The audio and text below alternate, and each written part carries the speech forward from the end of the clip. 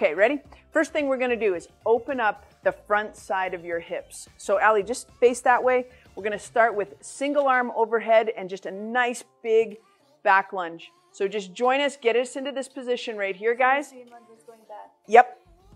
And we're gonna just finish in that strong running posture. Yep. And we got 10 of those. Two. Nice long stride. Three. Okay. Just a nice big step to the right. Yep. Straighten out that back leg and then just come right back. So it's a big, strong lateral step. We got 10 of these. Two. We break a lot of mini bands around here. We've got some strong athletes. Five. That's it. Open stance, airplane arms, and we reach to the back step and come right back to the front. Then the other side. Lead foot stays to the front, rotate to the back. Okay. Okay, so both feet facing this way. Okay. Take a big step, open, and now rotate. Yep.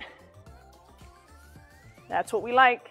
So now we're starting to open the hips this way. But the most important part of that is when you come back. The strength is right here when you come back to the front. So this position of this foot is really important. It's going to want to follow you and rotate internally. Don't let it.